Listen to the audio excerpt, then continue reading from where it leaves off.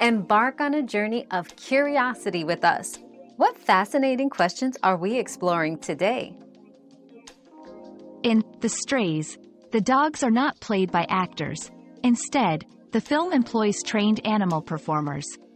These skilled canines are brought to life by professional animal trainers, who ensure their performances are both safe and realistic. The use of real dogs adds an authentic touch to the movie, showcasing impressive animal acting. Another mystery solved, but many more await. Keep up with our daily discoveries by subscribing and turning on notifications.